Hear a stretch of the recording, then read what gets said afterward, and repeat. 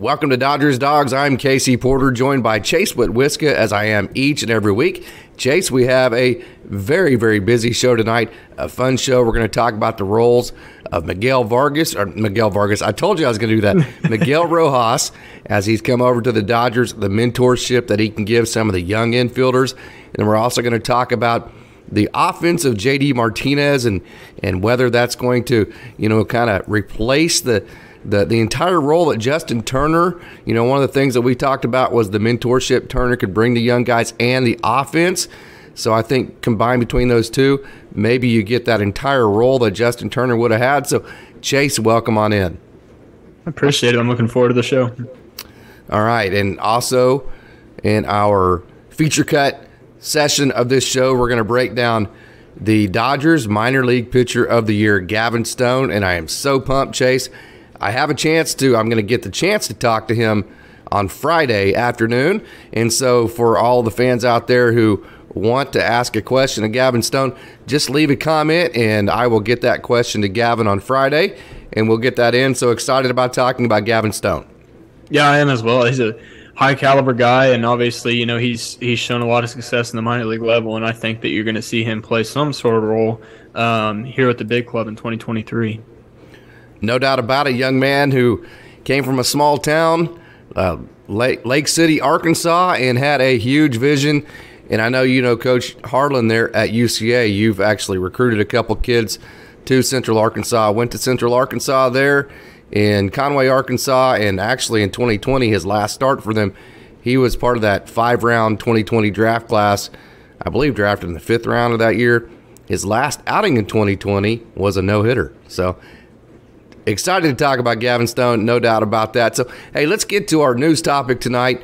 Good evening, Austin. Good evening, Frankie. Good evening, Orlando. Cannot wait to go over this show. Okay, so one of the big things that, that I think if you follow me on social media or Chase, that we were worried about with not having Justin Turner on the roster, obviously, is the mentorship that he brings. We do know that he's getting a little bit older, so the defense, you know, he's probably going to DH a little bit more. Okay, so I was worried about about the mentorship that he could give, say, a Miguel Vargas, a Michael Busch, even a James Outman, and then at the time, a Jacob Amaya. Okay, so I think one of the big things that that was appealing about Miguel Rojas Chase was the fact that he's an older guy that can come in and he is already mentoring Miguel Vargas. He's already mentoring Michael Busch. He's already playing that role of that guy that that I thought Justin Turner needed to be in terms of that mentorship guy in the infield. I think that's probably the biggest value of him right now at this moment. Would you agree with that? Maybe not the biggest value, but at least one of the biggest values of him. Yeah, I think so, and I think one of the, I mean.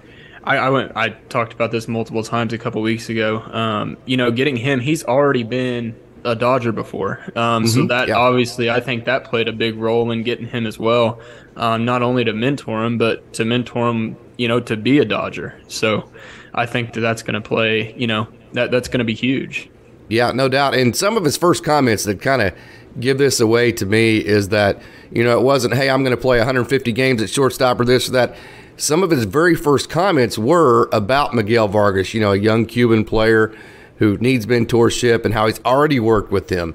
And and those were the type of early comments that Miguel Rojas made, and that you know that really impressed me. Yeah, absolutely. I mean, and that that goes to show you what kind of guy and what kind of teammate he is. You know, I that speaks volumes because there's not a lot of guys, you know, that are super selfless like that, especially that have had success at the major league level. Um, but I mean, maybe he knew that was his role going into you know, going through the trade and whatnot. Um, but even even if he does know that that that was his mm-hmm. role, you know, you can tell that he's embraced it, and you know, I think it was a good choice. Yeah, and maybe not role, but but one of his primary roles, maybe. And who knows? He may play 162 games at shortstop. Who knows? I don't think that's going to happen. But we talked about at the time how I think that creates a path for Michael Busch to play more every day at second base, and how you know, as much as we love Jacob Amaya and we love Michael Busch too. They're just if you just add the numbers up and add the math, there was not a path for both Michael Busch, Jacob Amaya. And then when you add Miguel Vargas, you know there was no path right there for them all to get the three, four hundred major league at bats like they need in 2023. Right. Yeah. And I, I agree with you 100%. And, you know, I can't again, we, we talked about this too. You know, I'm I'm happy for Jacob Amaya. You know, he's mm-hmm. he's going to get his shot in Miami, and, and it's a well deserved shot. Um, you know, we want to see those guys be successful. Um, you know, and, and he he deserved to get on that field and on that, um, you know, in that stage. Um, yeah. So I'm glad he's going to get the opportunity to do so. Yeah, and here's another thing. You know, we've seen it with Trayce Thompson and and guy well Miguel Rojas. Okay, Jacob Amaya goes to Miami. He knocks it out of the park. Guess what's going to happen to him when he becomes a free agent, Chase? They're going to go back after him? Yeah, they're going to go back after him like they always do, right? I mean, that's not to say just because he's moving away from the Dodgers. I mean, how many times do you see it where, you know, young coaches get in the profession and they become a GA at, at, the college they went to? You're familiar with that role. And then yeah. all of a sudden they move away, you know, halfway across the country to get experience everywhere else. And then where do they end up back? right where they started, right? Right so, back home. So definitely, you know, there's a path for Jacob in Miami, and I say that because, you know, he went to South Hills High School there in West Covina. He is a local Southern California boy. His his grandpa Frank is a legend in that area as a coach. His dad is very prominent in the area, you know, and I know I've communicated with his high school coach and his dad both, and and they're they're Dodgers fans, and it would have been so cool to see him at Dodger Stadium. So I say that to say just because he's moved to Miami doesn't mean that Jacob Amaya won't get his day at Dodger Stadium. That's that's 100% right. Yeah, so that's a cool aspect of that. So the, the two parts of, of the Justin Turner deal of, you know, of course they wanted 16 million and, and the Dodgers didn't think that was necessarily the market value for him. And he ended up getting a two year deal with Boston. The two things that, that I that were in favor of of Justin Turner were the defensive metrics. He still was one of the best defensive third basemen in the game by almost every metric you look at, and in, by some metrics and a lot of metrics, the best defense or offensive. Did I say defensive? I meant offensive third baseman in the game. Still, even last year, even after the slow start, I know he struggled in the playoffs, but even if you look at his overall playoff career, he's been better than most of the third basemen that are out there. So the offensive aspect of it, then the mentorship part of it, those were the two aspects I felt like gave Justin Turner the most value to come back to the Dodgers. So we talked about Miguel Rojas taking that mentorship as far as the infielders. Now the offensive production, okay, JD Martinez is going to take over that role. So the Dodgers kind of filled the Justin Turner situation with two different guys, didn't they? They, they absolutely did, and I think they went about it right, and they did it right. Um, you know, and I think that I think that you're going to see a jump um, in JD Martinez's performance uh, from last year, and that's not even to say that it was a, a bad performance because I think I mean he hit somewhere in the mid twos if I remember correctly. Um, you know, but one thing that I noticed when I was going through his stats and things like that is every time that he changes organizations, mm-hmm. he shows some improvement from the year prior. Um, and then not to mention, I think you said that he's reunited with the hitting coach that kind of you know Robert Van Scoyoc. Yep, that sparked his uh, I mean just just phenomenal hitting and offensive play. Um, so I think that that's going to be you know that's going to be huge as well.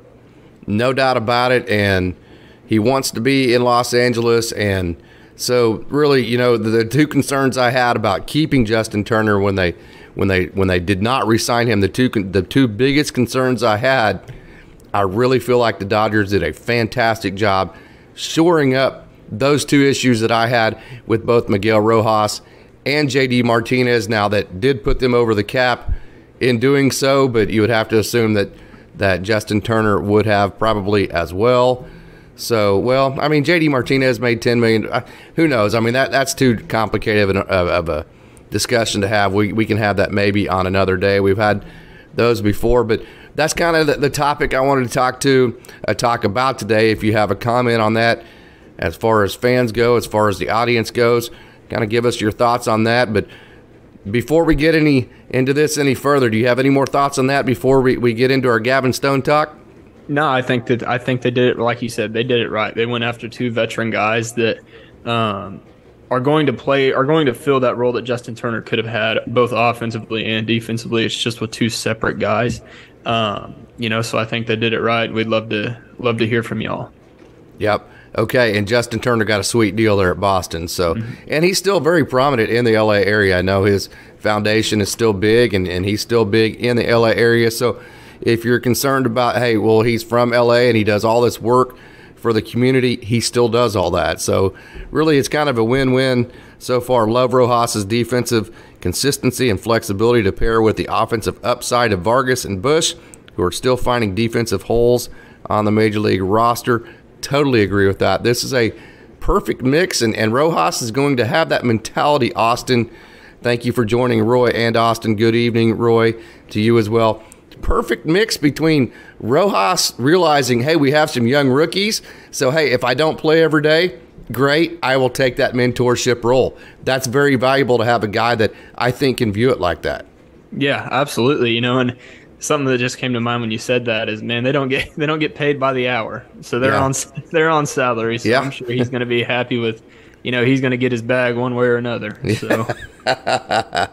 okay, enough about that. Let's get to it. My man Gavin Stone, like I said, I'm going to get to talk to him on Friday. If you have a question that you would like for me to ask in the audience of him on Friday I will even mention your name if you want me to, but I will get that question to Gavin Stone and have him answer that. I will have that interview ready for next week. I'll redo his feature and probably release that next week as well. So, without any more ado, Chase, let's uh, let's go ahead and get to some Gavin Stone video. What do you think? Let's do it. All right, here we go. Gavin Stone right there. This is at Great Lakes and this is the season that, you know, a lot of people think that, well, boy, he came out of nowhere last year. No, he did not, okay? And Austin will be the first one to tell you that at the end of this season, 2021, this is the 2021 season, that pitch right there, the changeup, this is really where he mastered that pitch. And I got to talk to Gavin oh, about this time last year, and he said, you know what, by the end of 2021, he wasn't sure that his changeup wasn't his best pitch in his arsenal. And keep in mind, Chase, he hit 98 that year in 2021. So he didn't come out of nowhere, man. He had a lot of momentum coming out of that season and into last season. Yeah, he definitely did. And if you guys are watching this film and some of these some of these um, off-speed pitches that he's throwing, man, that changeup, it, it's it's one of a kind. It's a really mm-hmm. really good pitch. Um, and then the bender too. The bender is, is nice. Yep. Um, yeah. I really like you know his posture. I like his tilt. I like his uh, like that change up there. that's that's really really good. Um, you know, and this this is just going to show you how how effective you know he, he's going to be. Um, yeah, this is in Double A and Triple A. Um, but man, these these are professional hitters, um, and and they're getting Michael paid. Bush? To, they're getting paid to play too. So uh, yeah, I mean, I think he's going to be effective even with the big club. Yeah, no doubt about it. Another thing about him is that he was a closer at UCA and a starter both UCA being University of Central Arkansas. So he's, you know, if the, you know, we've talked about the Dodgers have the five starters with, and if I leave one out, fans, I, correct me and tell me who I'm leaving out here. You have Dustin May and Noah Syndergaard, Julio Urias, Clayton Kershaw, and then who is the fifth one that I'm leaving out there, guys? You have your five starters there, and then you have the five rookies with Bobby Miller, Ryan Pepiot, Gavin Stone, Michael Grove, and Andre Jackson. Andre Jackson is uh, is still considered a rookie. So that's 10 guys that are starters. You can't start 10 guys. So the rookies, you would imagine, are going to have to at least go to the pen, at least some, right? And Gavin Stone has been a closer at UCA, so he has experience doing both. Yeah, and and speaking from a pitcher's perspective, um, you know, it, it's hard to change roles, um, especially in the middle of the year. Um, coming out of the bullpen is a completely different mindset than a starter. Um, the way you pitch is different. Yeah. Um, your mentality is different. Um, you know, really, really, you're just your total approach to the game is is not even close to the same. You know, as a starter, you're you're taught to pace yourself. You're taught to, you know, hold on hold on to your best stuff until you got to use it. Um, only burn only burn it in there when you have to. Um, and then when when you're a reliever and especially a closer, man, it's it's a hundred percent, hundred percent of the time. Mm-hmm. You know, because you're only going, you know, one, two, three innings, um, as opposed to a starter when you're going maybe four, five, and even six. Um, yeah, it's it's completely different, and I think that him knowing, um, him having that experience in both roles is going to be huge. Yeah, kind of to add to my point, Austin was talking about this. Austin Brubaker gets to go to a lot of Great Lakes games. He got to see Gavin Stone quite a bit at the end of 2021. He got to see him at West Michigan, and he noticed that wicked movement uh, movement on the changeup there in West Michigan in 2021. He was different than a lot of other pitchers. Austin says, and you could sense the excitement for him around the team. No doubt about that. Roy Estrada is Gavin mentally and physically ready for the big leagues. I will say this he is one absolutely cool customer. He does not let anything bother him. I mean, he, sometimes, you know, like his teammates will tease him, like, like, hey, do you even have a heartbeat? I mean, it's like he is just so chill. It's like nothing, absolutely nothing bothers him. He threw the no hitter at UCA. He was also a closer. He is absolutely made for clutch moments. Of course, you never quite know until they hit the major leagues exactly how they handle the 55,000 people in the stands and all the scrutiny and all that. But I can tell you, of any young prospect that I have seen from a mental perspective, I think Austin would agree with this. He is as mentally prepared and mentally ready as anybody that I have seen, and that's why he has been so good because he just approaches. You know, there was a game this year, he went a long stretch where he was just completely dominant and he gave up like a couple of home runs in the first couple of innings. And what a lot of young chaser, you know this, what a lot of young pitchers do when they struggle for the first time in a while, guess what they want to do? They want to try to throw it harder, right? They want to yeah, try to throw it through a yeah. Okay. Try well, to, try to press and and you usually it's it's kind of a recipe for disaster when yep. when that happens. well, in that scenario, he threw a changeup, a slider, a changeup, and then like another. I can't remember the, but it was like all off speed and the next hitter was out in like four pitches and it was like okay i'm sold right there you know? Yeah. the dude just knows how to pitch. So to answer roy's question no doubt about it he is as ready as he possibly can be mentally and physically and which veteran pitcher does he turn to for mentoring? Roy estrada asked that. I think if you look at his mentality of course he's right-handed not left-handed but if you just look at the way that he stays calm the way that he stays under control I think his mannerisms are going to remind you very much so of Clayton Kershaw. I was about to say the, the exact same thing. You know, the way they the, the way that they approach the game, the way that they pitch is so similar. Um, you know, and, and yeah, one's right-handed, one one's left-handed, but just that cool kind of calmness and you know, just just overall like kind of mm-hmm. quiet, soft-spoken kind of guy.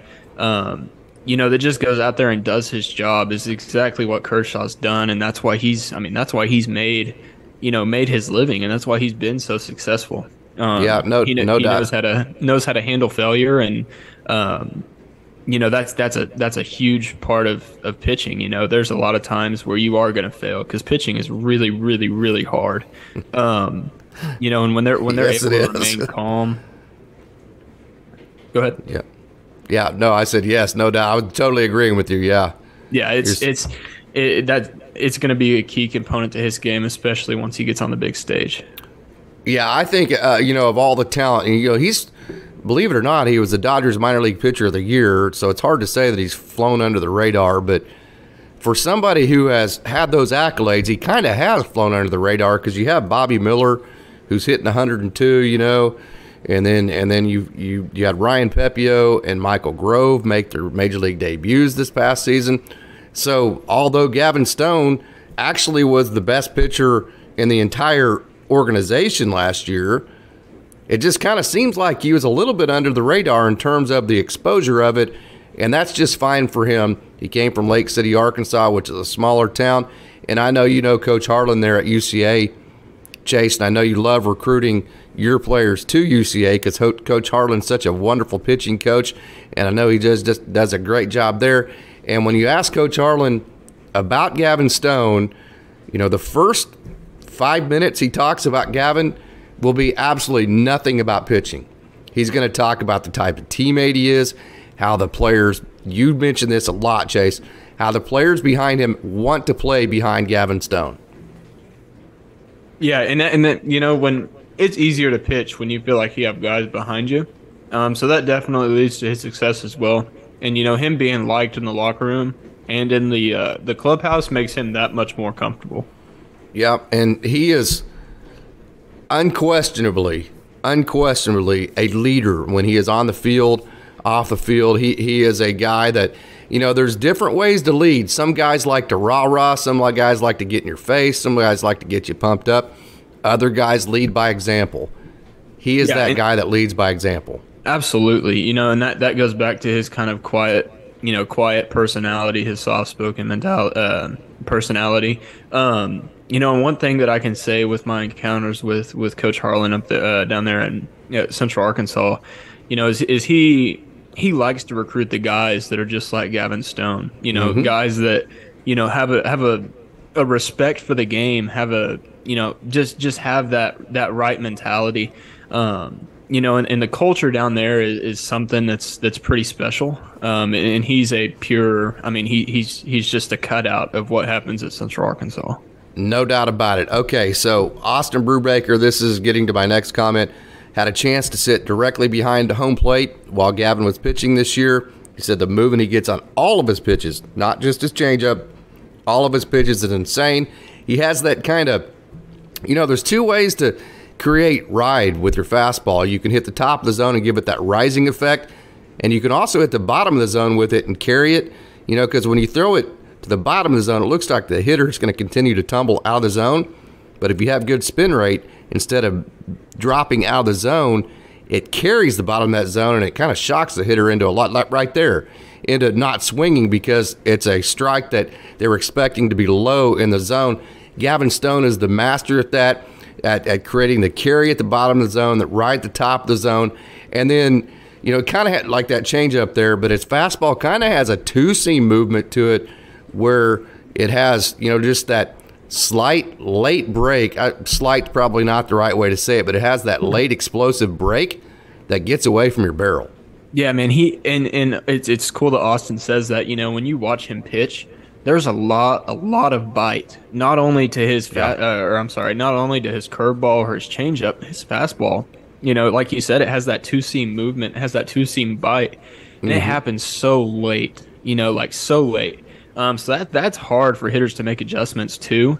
Um, you know, I and I, I would always taught, you know, if you can make the ball move and you can command the zone, you're better off doing that than you are throwing, you know, 105 and, and yeah. throwing it straight and flat. Now, notice he just threw three balls in a row and then he came right back with three challenge pitches. That's the kind of pitcher he, he threw. He knew he got down in the zone. So instead of, you know, like a young hitter trying to press, he just threw the ball in strike zone and played the odds and said, hey, if if you if you fail seven out of ten times a hitter, you're a Hall of Famer, right? Yeah. So I'm not going to walk you, and I'm going to make you hit this ball. threw three just good pitches in a row, and got the out. Okay, so statistically, this year in 2023, Gavin Stone, again the Dodgers minor league pitcher of the year, ERA 1.48. Okay, on the season he had all right, on the season, he had 168 strikeouts and 121.2 innings, Chase. Okay, so you're talking about more than nine. What, what would that be like? 10, 11 strikeouts a game? And then he, yeah, he, he walked 44. So his strikeout to walk ratio was close to three to one. You want it to be, oh, about two and a half to one above that, which it certainly was that. His strikeout rate is very good. You know, I think he could probably be the first one to tell you that three walks a game a little more than three walks a game, he could probably lower that a little bit. So if you're going to nitpick Gavin Stone, that would probably be it. Maybe reduce it down to about two walks a game. Keep the strikeout rate where it's at with, again, 168 strikeouts, 121.2 innings. Average against was 206. His whip was 1.12, and that is through an entire season, 121.2 innings.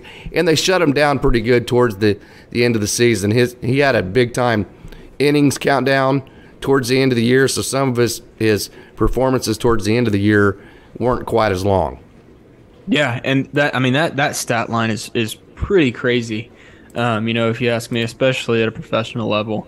Um, it, like I said, it, it just goes to show you what kind of pitcher he is, man. He's a high quality guy um, that's going to find a lot of success. Um, you know, where, wherever he's at, whether that be you know, in AAA, or, or I think, I mean, even even with the the big club in LA, um, he's going to find a lot of success. Um, people in the chat, talk to us if you have any questions. Feel yep, free to no, chime in. Yeah, no doubt about it. Yeah, Gavin Stone. Okay, one definitely one of my favorite pitchers. And again, I got to see him quite a bit. It's you know I'm, I'm going to kind of circle back to one of the comments I made earlier. Is you know a lot of people had this perception that he kind of came out of nowhere last year, and that's not the case. You know we talked about 2021. He was hitting 98 with the fastball, and then you know, he had that changeup that he was developing, and so he just kind of carried that in. This is the end of 2021 that you're seeing right here. Carried that into 2022. Statistically, one of the best pitchers in the minor leagues last year. Advanced, metri- uh, advanced metrics back up the unreal ERA too. You know, there's statistics, and then you kind of have peripherals. Chase. You know, in other words, like okay, yeah, the ERA was good, but did they get lucky? Did did a defensive guy make a diving catch? You know, did did they just uh, three or four situations did a guy just miss a ball and hit a pop up instead of a home run? That kind of deal. So there's peripheral type statistics that will kind of give an organization the idea of, well, yeah, the ERA and stuff was good, but yeah, he was drafted in the fifth round and in the 2020 uh, draft that only had five rounds.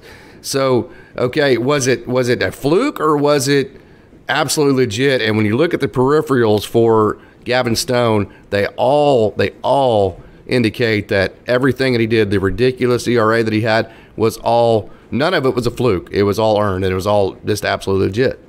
Yeah, and I man, I don't. I as a pitcher, I don't really like those statistics. To me, an out and out, an out and out. I agree. You know? If I get an out, then then I beat the hitter, um, and he beat the hitter a whole heck of a lot of times last year. Um, so he deserves every bit of credit uh, for the performance and the numbers that he put up last year.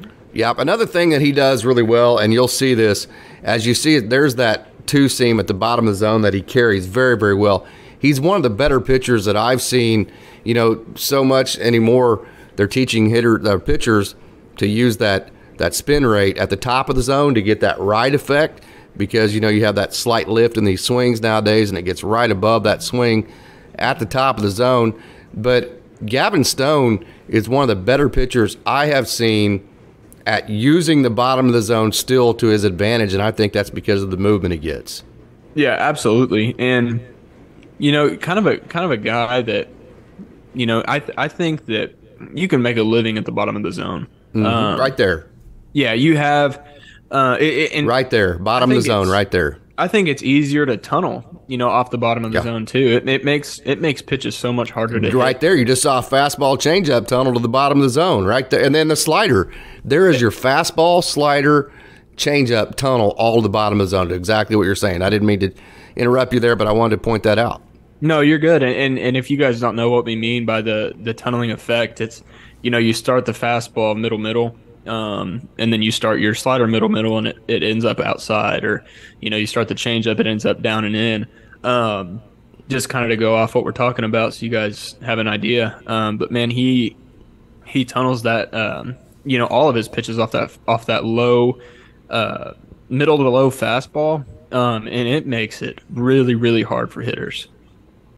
One of the best qualities if you talk to coach harlan from uca that he has is that he is absolutely a leader on the field. So, hey, I'm going to transition this back and I'm going to give some final thought. We're going to get some final thoughts here as we get some more interaction from the fans here. As we finish up our talk chase, we are back live. So, hey, we've talked about Miguel Rojas, his mentorship. We've talked about JD Martinez, his offense, and how those two kind of combine between Miguel Rojas' mentorship, JD Martinez's offense replace Justin Turner and what he would have given the Dodgers. And then we've talked about Gavin Stone. So dive into the whole thing and sum it up for us. Uh, man, again, I think the Dodgers went about it the right way. Um, after they lost Justin Turner, you know, they he offensive. I mean, just an offensive freak. Um, you know, and then he provided that uh, that mentorship for the infielders. You know, but you know they just went and got two two different guys to to fill the those two roles that Justin Turner could have filled probably on his own. Um, you know, but um, they went about it the right way. And then, man, I again, I can't say enough about uh, Gavin Stone. Man. He's a he's a fun guy to watch. Super impressive. Um, seems like a great dude. Obviously, you know him a little bit better than I do. Um, yeah. But man, he, he's he's a special player, special pitcher. Yeah. Yeah, and, and his favorite barbecue restaurant is Ray's Rump Shack. you gotta love a guy who who loves going to Ray's Rump Shack, right? I mean, good grief. hey, and by the way, by the way, another thing. Hey, good evening, Mike. It's great to see you. Uh, better late than never. We just got through with our Gavin Stone talk, our video talk. So if you want to see that, go back and and and check that out at a later date. And also, he played for Buster Campbell. I know you know Coach Campbell, a, a, Hall of Famer in Arkansas. I believe he's the winningest coach in Arkansas basketball history. And and every time he goes back home to Lake City, he goes and has lunch with Coach Campbell. How cool is that? that that's awesome, man, and and it's cool to have those special relationships with those coaches that have that have impacted you in that kind of way, um, and to carry that relationship on is something something really special. Yeah, no doubt about it. Mike says he thinks Stone is going to stand out over all the young pitchers who come up, and that includes Bobby Miller, that includes Ryan Pepiot, Michael Grove, and Andre Jackson. So that's a big statement to make. So what do you say to that, Chase? Uh, man, I, I, I think he's right. Um, yeah. You know, but I also think that I also think that the other uh, the other young guys are going to surprise you too. I think they're going to be they're all going to be special, man. And and I hope I hope that we can hang on to all of them. Um, I know it's going to be hard, um, but man, they're all just so stinking good. Um, it's no it's just hard to say. It's an embarrassment of riches. Soul bro, where you been, man? We've been missing you the last couple of shows. I appreciate the comment, the great stuff, guys. Comment. We appreciate all the comments you leave. Fernando can't wait to see Stone and Miller up with Los Angeles. Man, think about this. You already have the five guys. I have a phone call coming. I'm going to turn that off. Hey, that's a good phone call. You know what that's telling me, Chase? No school tomorrow. oh, you lucky is, dog. Yeah, it's snowing in Oklahoma. And other than yeah, so that's a good phone call to get right there. But hey, you know, you have the five guys with Kershaw, Urias, May, and uh, uh, and Gonsolin. Gonsolin, the one I keep missing. So you have the five starters, and then you have the five rookies with Pepiot, Grove, Miller, Stone, and then Jackson still. So, man, and then be, beneath that, then you have guys like Frasso, Nick Nastrini, John Rooney, uh, Kyle Hurt, Alec Gamboa. Then, you know, you have, I mean, so, you know, Cole Percival that has five pitches. I mean, it is just absolutely a complete embarrassment of riches. Yeah, it's, it, and it's, I love it. I absolutely yeah. love it. Um, you know, hey, by the way, guys, keep keep commenting. We're loving it. Yeah, we um, got about oh about th- two inches of snow, maybe. What? Not a whole lot. Yeah, I mean, but it's like thirty. It was above freezing, so it didn't stick. Oh well, I, am annoyed because all it did out here was rain for a little bit, and then it mm-hmm. snowed for about an hour. Then it all disappeared. So, yeah. and we're only what thirty minutes, thirty minutes apart. Yeah. Yeah, that's a good point Fernando made. Kershaw will be limited, you know, and, and probably so will Dustin May coming off of Tommy John. And then Noah Syndergaard's coming off as Tommy John from 2020. And then also Tony Gonsolin's been injury prone. And Julio Urias threw more innings last year than he had in any other year. So there's a lot of innings you would have to think to be had. We say the five starters, but you would have to think between those five starters – there's going to be a lot of innings, like Fernando is saying, that are going to be available for the other guys. Yeah, it it absolutely. Um, there's there's going to be roles that have to be filled, you know, and you you want to take care of those older guys too, maybe to prolong their career. Sure. Um, you know, and, and and to have all of these young prospects, you know, you want to see as many of them on the big stage as you can. Um, and I think they can all give you a good chance to win. So. Yeah, yeah. Do you see Kershaw going much over 100 innings this year? if he does, it won't be by a lot. Um, I could see him probably staying around the 90 range. Uh, yeah. If, well, know.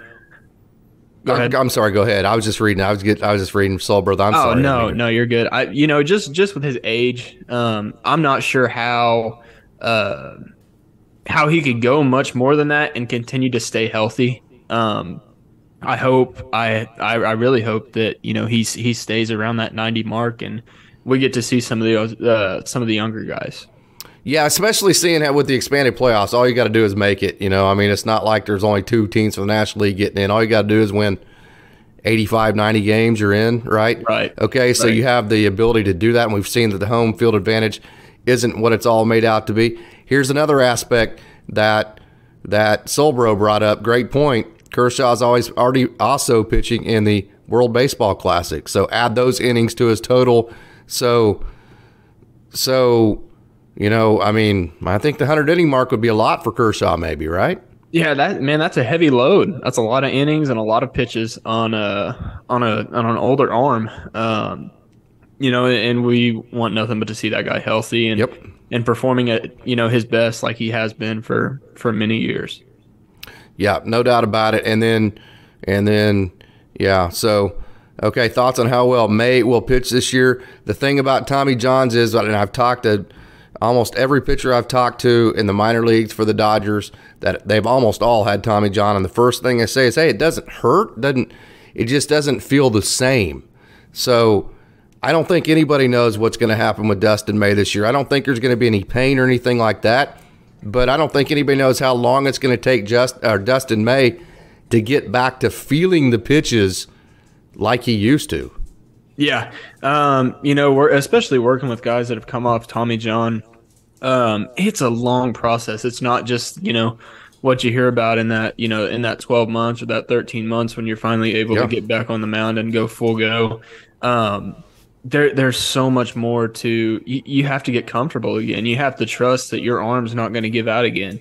Um, you have to trust that you know that that you healed correctly, that the doctor did the right things. There, there's a lot that goes into it, and it's it's scary. Um, I can't even imagine, you know, being being an older, you know, professional baseball player where you know I've made my living off throwing a baseball for several years now, and then you know that all could come to an end really quickly. Um, that's that's a scary thought. So it, it takes it takes a lot longer than just that twelve or thirteen months when you are finally able to get back on the mound and go full go. So you have that situation with both May and Syndergaard. So I think there's a lot of question marks there, but but you know, hey, if everything works out, we got a minute left here, and you know the five guys, boy, that's a pretty darn good staff. Probably the best, one of the best in baseball. Final Yeah. thoughts, Chase. We got about a minute, less than a minute. There, there's a lot of good stuff going on, you know, in just in the uh, the whole Dodgers organization, you know, from from pitchers to hitters to um, defensive play, man, everything everything is lining up really, really well. Um, you know, and I I was nervous, you know, going kind of going into the the free agency period and all that stuff, um, you know, and then just seeing, you know, what the Dodgers were going to do to trade, um, but they did it right. Yep. Hey, fans, just a reminder leave a comment. I know we had this, this chat, but if you leave a comment, that helps this video get seen. Also, share this video, like this video, tell all your friends about Dodgers Dawgs and Dodgers Daily so we can keep growing and keep providing you content like this in the future. As always, fans, thanks for tuning in and go Dodgers.